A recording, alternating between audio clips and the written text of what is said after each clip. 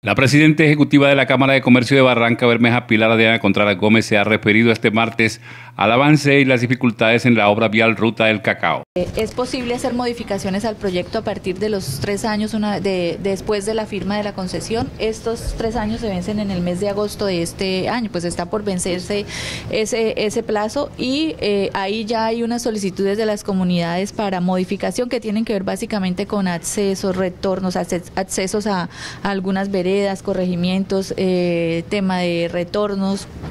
eh, como por ejemplo para el caso nuestro eh, el acceso a la Universidad de La Paz. ese tipo de modificaciones pues es, es posible técnicamente hacerlas pasados los tres años una vez la firma de, de la concesión. se espera pues que, que, se hagan todas estas solicitudes ante la, ante la Agencia Nacional de Infraestructura. La Ejecutiva ha expuesto lo que sucede con los bolqueteros que prestan servicio a esta concesión y que se encuentran entran en paro. Con respecto al palo de los volqueteros, en este momento la información oficial que tenemos de parte del concesionario es que eh, todos estos problemas se han suscitado porque eh, cuando se firmó el contrato con los, los volqueteros, pues se, se pactaron unas tarifas fijas y eh, en estos momentos se están pidiendo reajustes a esos, a esos precios que se les están pagando.